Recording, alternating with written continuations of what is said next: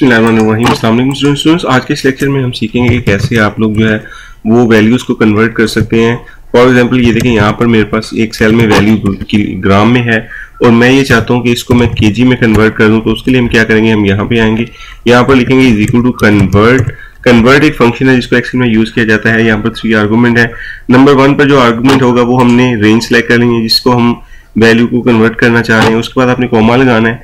Second हमारे पास आएगा फ्रॉम वट यूनिट तो फ्रॉम वट यूनिट में मैं लिख देता हूँ कि मेरे पास ये जो यूनिट है, ये ग्राम का है। तो मैंने जी यूज़ किया कॉमा लगाया। थर्ड आर्गूमेंट है टू यूनिट किस यूनिट में हम इसको कन्वर्ट करना चाहते हैं? मैंने फिर दोबारा डबल इन्वर्टेड कॉमा लगाया, यहाँ पर के लिखा।